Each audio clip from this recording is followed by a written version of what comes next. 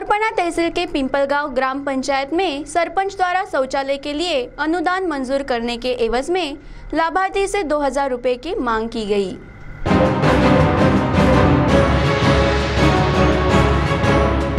स्वच्छ भारत मिशन के अंतर्गत घरेलू सुलभ शौचालय के लिए शासन द्वारा बारह हज़ार रूपए मिलने के लिए स्वयं सरपंच द्वारा दो हज़ार रूपए की मांग किए जाने की बात सामने आई है। कोरपना तहसील के पिंपलगांव ग्राम पंचायत यह आदिवासी बस्ती होने से पेशा अंतर्गत यहाँ के शासन ने स्वच्छ भारत मिशन के अंतर्गत सुलभ, घरेलू शौचालय के लिए बारह हज़ार अनुदान पात्र लाभार्थियों को देने की योजना होने से गाँव के कुछ पात्र लाभार्थियों की ओर से स्वयं सरपंच द्वारा बारह हज़ार अनुदान का चेक देने के लिए लाभार्थियों से दो हज़ार की मांग करने की बात सामने आई है और इस संबंध में स्वयं लाभार्थी सुरेश क्षीरसागर ने जानकारी दी।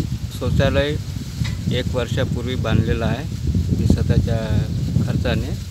आणि गव्हर्मेंटने सुद्धा मला ते बारा हजाराचं अनुदान दिलं होतं.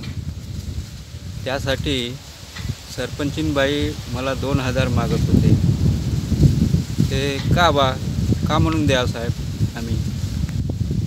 तर ते दा बारा हजाराचा चेक देतो परंतु आम्हाला दोन हजार रुपये द्या. तर हे मी कबूल झालो दोन हजार रुपये. कबूल झाल्याबरोबर मला त्यांनी घरामध्ये चेक दिला. ग्रामपंचायतमध्ये न देता घरामध्ये आणून दिला होता. आठ दहा दिन दिवसानंतर त्याही मागणी चालू केली. दोन हजार द्या दोन हजार द्या. बाकी प्रत्येकाने दिले ऊस राहिला. असे गावातून बऱ्याच लोकांनी दिले का? हो बऱ्याच लोकांनी दिले. दोन हजार रुपये दिले. दोन हजार रुपये कोणाचे दहा हजार रुपयापर्यंत घेतलेले आहे.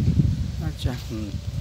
म्हणजे बारा हजार रुपये न देता त्याच्यातून दोन हजार रुपये कापून. दहा हजाराचं दहा हजाराचा किती काले? दहा हजार दिले किती काले? दोनच हजार दिले. पैशाची मागणी पैशाची मागणी चालूच आहे. पैशाची मागणी कोण केली? सरपंचीनबाई. नाव काय? आपले घोळामबाई रेखाबाई घोळाम दोन हजार रुपये मागत आहे? हा. पिछले एक वर्षों से गाँव में लोगों द्वारा इकट्ठा की गई निधि से बनाए गए शौचालय इस समय जर्जर अवस्था में दिखाई दे रहा है, जिससे गाँव के सरपंच एवं लोक प्रतिनिधियों द्वारा शासन की योजना तथा नागरिकों के पैसों का कैसे दुरुपयोग किया जा रहा है, यह बात सामने आ रही है। सी के लिए हमारे प्रतिनिधि गणेश लोंडे की रिपोर्ट।